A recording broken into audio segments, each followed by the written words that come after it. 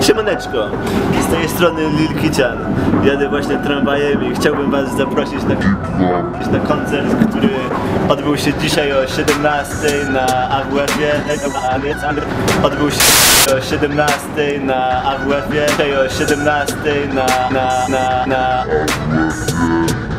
jako support przed Malem i przed Grubsonem. Podbijajcie tam, koncert cały czas trwa. Ba, ja, ba.